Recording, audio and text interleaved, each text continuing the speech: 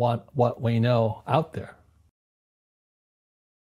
I was on CNN calling the crash of 2008. I said, Lehman's going down. You can check it out. And we had Jean Chatzky, who represents Wall Street, you know, the, the, the mutual funds and 401k guys. She goes, so. First of all, let's go back to what is financial education? It's not get a job, work hard, save money, and invest in a well diversified portfolio of stocks, bonds, mutual funds, and ETFs. That's not it. The financial industry is two things debt and taxes. Debt and taxes. And that's where fake starts. 1971, Nixon took the dollar off the gold standard, and the US dollar became debt. And we still tell kids to go to school, get a job, work hard, save money, and get out of debt. Now, who tells them to do that? That's the most ridiculous thing there is.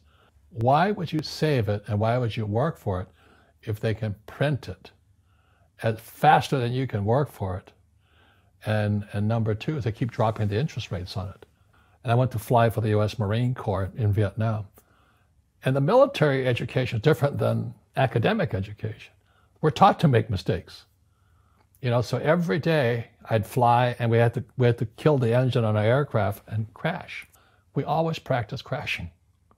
Because one day, as you know, you will crash. And you did crash. And I did crash three times. But if I didn't practice that, I'd be dead. So what happens to the average person in a financial crash, they don't know what to do. And right now, as you know, for the middle class of the world, we're in a crash. The, you know, the, the purchasing power of the, of the yen, the euro, the rupiah, all going down. And people are working harder and harder and harder. And the central banks of the world are printing more money. Interest rates, you know, Trump just told the Fed, don't you raise those interest rates. Well, that screws all the savers. Right. And everyone hears the economy's doing great and the stock market's up, but the middle class and the poor are having a harder time. Correct. Right. And that's why that's why I write and I speak. And so if someone's listening to us that's stuck in that poor middle class trap and they hear it's their fear that ultimately is keeping them from that, that's a hard thing to hear, Robert. But you're going to give them the information about what they can do if they can get out of that fear. Well, every time I, know, I do a lot of speaking to the masses out there. You know, Lehman doesn't invite me in because we're gone, but they go, well, what, what, what you're saying is risky. And I said, what I do isn't risky for me, but it's risky for you. And when somebody says, What is risk? you have to look in the mirror. Do you know what I mean? For me to fly in Vietnam, that was high risk. But the higher the risk, the more you have to study. So if you're not going to study, you're not going to practice and all that, then you should do what Wall Street tells you to do. Buy 401ks, mutual funds, ETFs, and all that. But that, that's where they're fake assets because they only make Wall Street or the city of London rich. Just watch where the cash is flowing. Follow the money. It's not making the poor middle class rich. You know, all Wall Street in America has done is rip off the pensions because, you know, pensions are the biggest pool of money in America. And states like Kentucky, New Jersey, Illinois, California, Hawaii are going bankrupt because Wall Street went in and just sucked all the cash out of their pensions. So the school teachers like my dad, the firefighters and police officers, they have no retirement now. And so that's why it's fake money, fake teachers, fake assets. They're the same system. So why did they take dollar off the gold standard? And what does this mean? What don't we know? So what that meant was in 781, they could print as much money as they wanted. So as the economy of the United States worsened, you know, the deficit, trade deficit was going up, they could print and print and print and print. So that's why if you read, when you read fake, it says the people that are being screwed today are the poor and middle class because they work for money. You know, the banker friends, they're not working for money. They have money working for them. Yep. Right. Very big difference in mentality here. So we have in America today, we have, you know, even Ray Dalio of Bridgewater, one of the biggest hedge fund guys in America. He's saying this gap between the rich and everybody else is too wide. Well, you could have seen that back in 1972. Because the moment you corrupt money, the very thing that everybody works for, saves, counts on, they were screwed anyway. And our school systems, fake money, fake teachers, fake assets, part of that same system. Government, education, Wall Street, or City of London. And you know, in in uh, Paris today, they have the yellow jackets.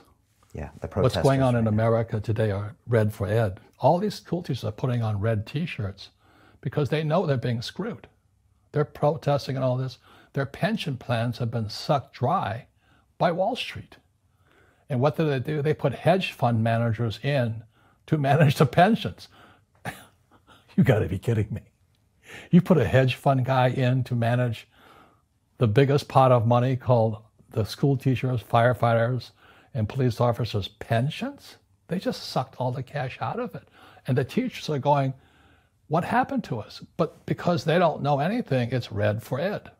They're out there protesting in mass all over the United States. But you don't hear about it. They talk about the yellow jackets, they don't talk about red for ed. So this whole thing is coming apart right now. And it goes back to the question I have, I have always asked why doesn't our school teach us about money? Because Wall Street won't let them. You know, when I was in flight school, my instructors could fly because I flew with them. But in school, you don't know if your instructor is for real or not. That's where the fake teacher comes from. When I was in my MBA program, I was still in the Marine Corps. Back then, this, this is 73 now, and the students were spitting on me, yelling at me University of Hawaii, you know. I'm, I'm there, I was stupid enough to go in my Marine Corps outfit, my, my flight suit. And they're yelling at me, baby killer, and all this. I'm sitting in this classroom, and my MBA accounting teacher doesn't know accounting. And I'm going, I'm going nuts. I'm not an accountant, but I knew he wasn't an accountant also. So I took him on. I said, I said, Are you an accountant? He goes, I have a master's in accountancy. I said, That's not the question. Are you an accountant?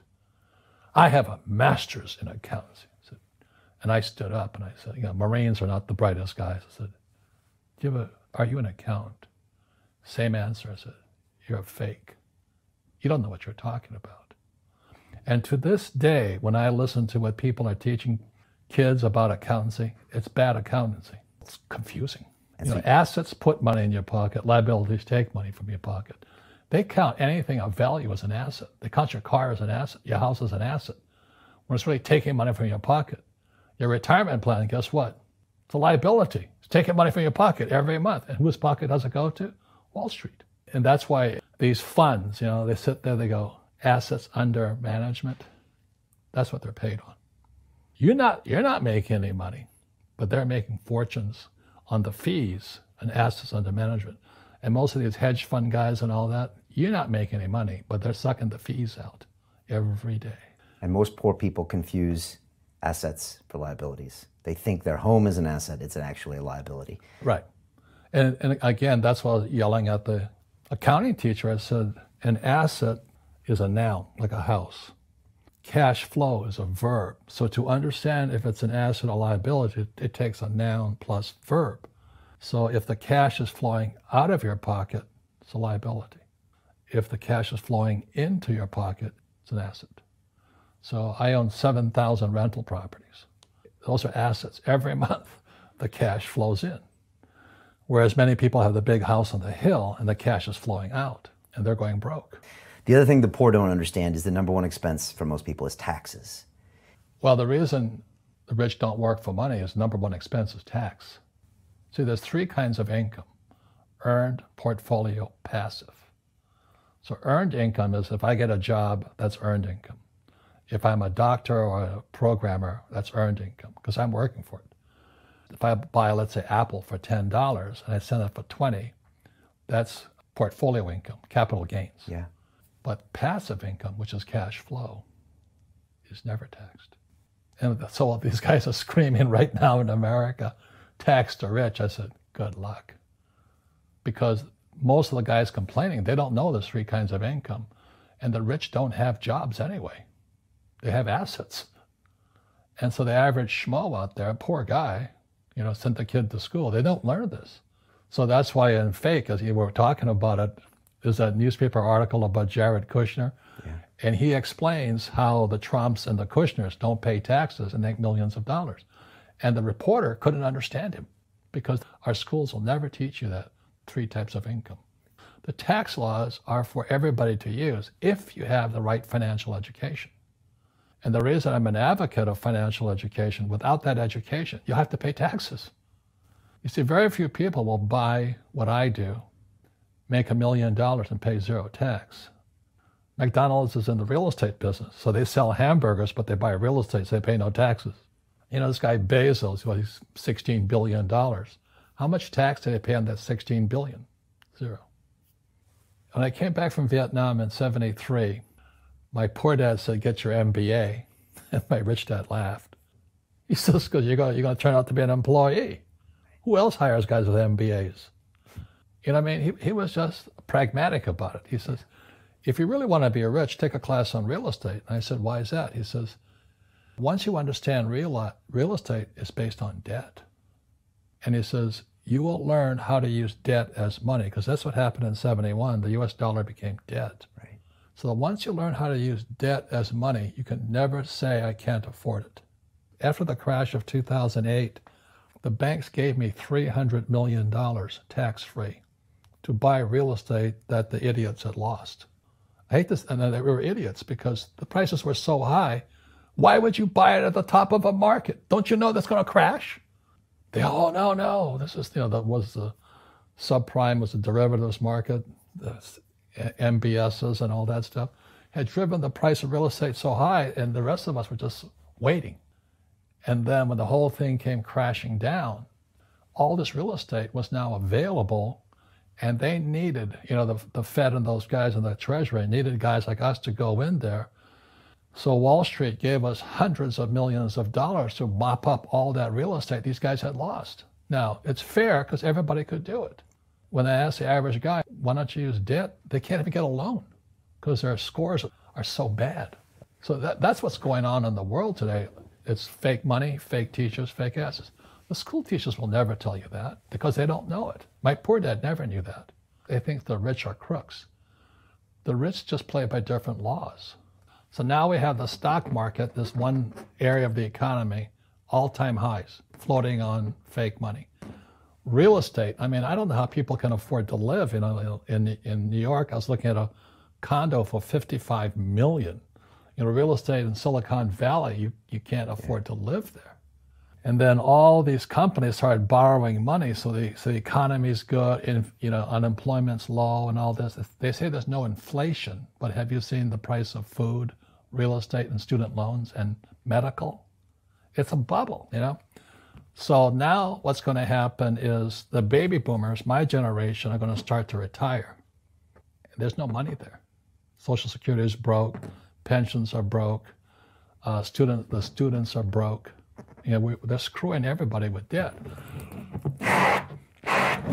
This is called, not economics, this is called bubblenomics. But they'll never teach you this in school. And why do they keep printing money? Because they want to save something. Because it's an addiction. You know, this is like heroin. The moment you take that one hit, they say, okay, I'll quit next week. And the economy gets worse, so they, can, they go, Trump gave us a tax cut in America this thing gets bigger and bigger and bigger. So what happened in 2008, they stopped it by printing money. So we, they call it the Great Recession. But they didn't really fix anything. You know, derivatives went from 700 trillion to 1.2 trillion today, twice as much. And that is net. You know, that's not doesn't tell the whole story. So when the recession hit, the PhD standard came in. That was Bernanke, you know, and then Yellen. The PhD said they have PhDs. Well, it's no different than long-term capital, LTCM. They had Nobel Prize winners, people like my poor dad, academics, you know. This is what's going on in the world economy today. So the baby boomers are going to retire now. Student loans are bust. So do you have to be an economist to say what's going to happen? We're fighting a 12 year war now entitlements are going through the roof. National debt to GDP is 109 in America, 109%. 90% is too late. We have to keep printing now. So this is called bubblenomics, and this is what's going to happen. Scary stuff. It's happened throughout history.